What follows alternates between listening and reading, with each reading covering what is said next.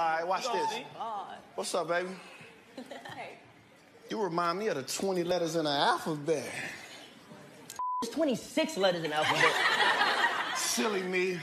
How could I forget the U R A Q T?